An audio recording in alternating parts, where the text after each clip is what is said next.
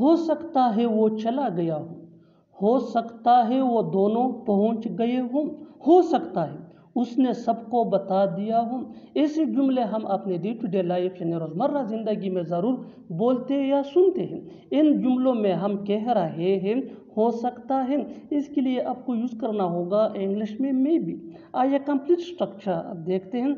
May be plus subject plus has या have his ये he she it या singular name के साथ यूज़ होता है। हेव ये आई वी दे या प्लूरल नेम के साथ यूज़ होता है। प्लस वी थ्री यानी third form of verb plus other words अच्छी तरह समझने के लिए कुछ मिसालें देखते हैं। हो सकता है वो चला गया हो। Maybe he has gone maybe he has gone हो सकता है वो दोनों पहुँच गए हों।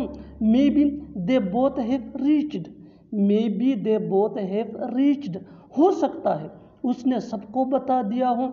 Maybe he has told everyone maybe he has told everyone बिल्कुल हम स्ट्रक्चर को स्टेप बाय स्टेप फॉलो कर रहे हैं। आप भी स्ट्रक्चर की मदद से सीख सकते हैं, बना सकते हैं। ऐसे बहुत से जुमले अंग्रेज़ी ज़ुबान में आसानी से that can be really help for you अच्छी तरह समझने के लिए एक और मिसाल देखते हैं। One more example for better understanding हो सकता है उसे पता चल गया हो।